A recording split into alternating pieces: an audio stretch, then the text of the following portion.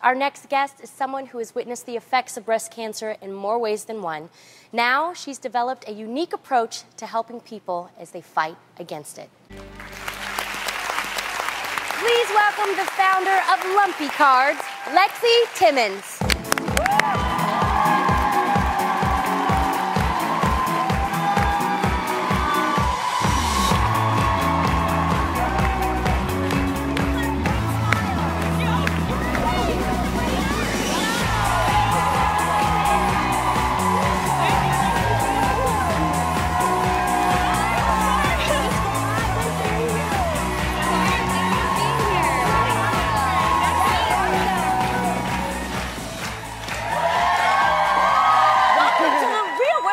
We're so excited. To, and doesn't she have a great smile? Yes, beautiful. Beautiful. I know. Now, as we just saw, your mom was battling cancer. So we have to ask, how is she doing now? She's doing great. She's happy and healthy, and she's actually in the audience today. Now, these cards are uber funny. Yes, they are. But they're also hilariously risque. so we have to kind of sift through them so we can show the people. can you tell us about your inspiration behind this one? This one, you know, all different types Oh my of God, women. I love it. So cute. Big or small, save them all. Yes. like that. yes. So witty. Thank you, thank you. That is so How are you able to find humor behind all of this?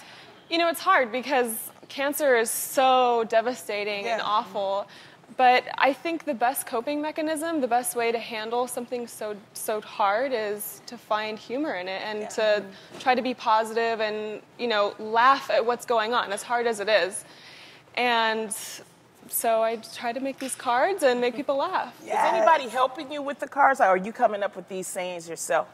The ideas, um, some of them are inspired by patients that I've had. You know, their their attitude, their fire, their fight, um, and some of them are inspired by my mom. Good one, Mom. and uh, some of them are just, you know, that they personify patients in general. You know, the the will to fight and the humor that a lot of patients have when they come into the center. Right. So Laughter is the best thing It ever. is. Best it really ever. is. Best Always. You could be going through the worst thing, and if somebody can make you laugh, it really helps you get through it. Such a good point, Adrienne. And most people don't know that 220,000 people all around the US will be diagnosed with breast cancer at some point. So, when it comes to knowing somebody who has been diagnosed, what advice do you have for them? I would say positivity is really important. Yes. Oh my gosh, yes. And a lot of times that could be offering the little things that you don't think about. You know, can I take your kids to school on Tuesday? Or can I help you out with your laundry? Or maybe have a little date night and go out and have dinner. And um, my favorite experience is my mom's uh, saying, I'm having a no cancer day. You know, Right. if I would ask her, you know, how is your peripheral neuropathy or whatever side effect you're experiencing? Oh, I don't have cancer today. So we'd go and have a, a like a mommy daughter day and go out to lunch and talk about everything except cancer. Normalcy. Best. I love that. It is. It Well, here at The Real, we love the work that you are doing. Thank so, you. what's next for Lumpy Cards? I just want to get the message out there. I, I want people to be inspired by this and share it and just show that it doesn't always have to be scary. Yeah. Yes. Thank you so much, Lexi, for being here, and Yes. thank you for what you're doing. Yes. You are Yes. helping so many people. We Thank you appreciate so it. much. Yes. Much success.